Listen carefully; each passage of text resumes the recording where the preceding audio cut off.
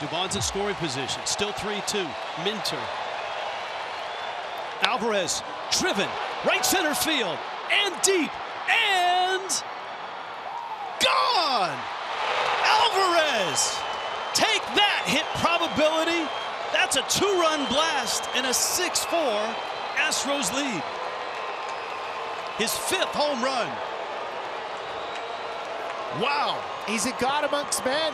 I mean, that's one of the league's elite left-handed relievers in A.J. Minter. And he just met his match in Yordan. I mean, against lefties for his career, he's near a 1,000 OPS. Insane.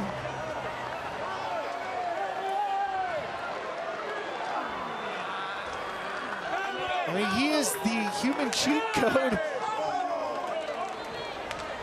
Here is Abreu. for a left-handed batter. That's his third ninth inning or later home run to take the lead or tie the game in his career. My goodness. Abreu turns on one. Everybody all right? That one right into the Astros dugout. What a big moment. And he's done it before, 90 miles an hour. You see AJ, he's looking back. He just missed a strike call. He goes back to the pitch. That's away from him.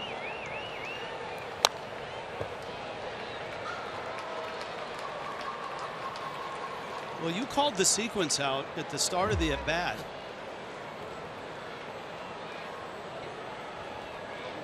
Jeez.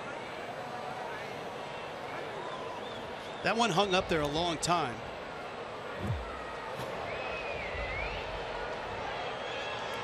Abreu takes up, and it's two and two. The Braves will have 8-9-1 due up in the bottom of the ninth, with Acuna being that third hitter.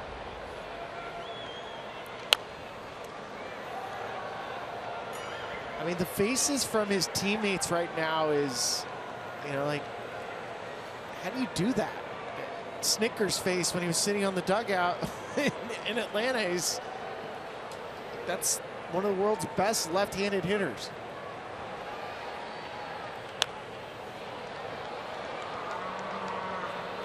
And you wonder how much the balk rattled Minter. I think it had something to do with it. 90 miles an hour right on the edge. Notice the reactions. See the dugout.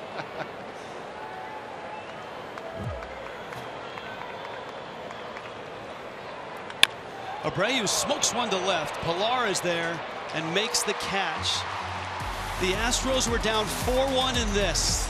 They got three in the seventh and a huge two-run, two-out Yordan Alvarez homer and a 6-4 lead to the bottom of the ninth.